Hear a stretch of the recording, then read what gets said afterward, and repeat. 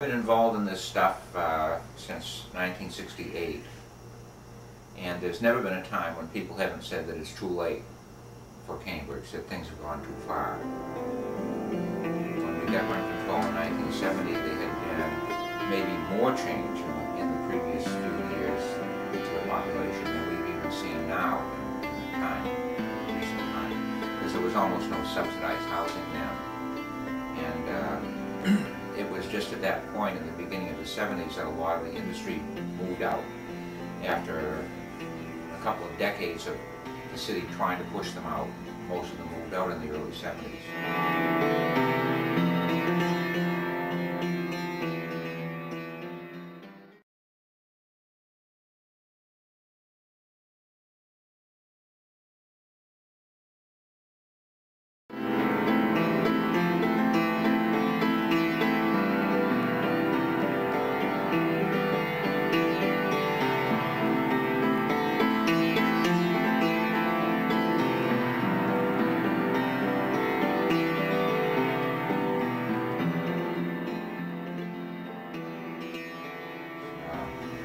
Cambridge was the second industrial city in the state throughout the 20th century up until the middle 70s and began to rapidly lose that.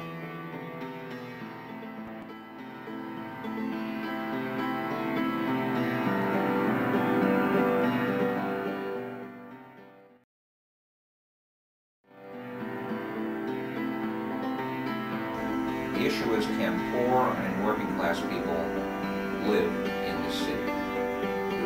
who who uh, are needed to work in the kitchens, the labs, to service the city's agencies, can they afford to live in the city that they work in? Or must they live 30 miles away? Must, must somebody who works in a kitchen go out of the back door at 2 in the morning and get an old jalopy and drive 30 miles home on top of working for a little more than a living wage? Is that what you mean by diversity?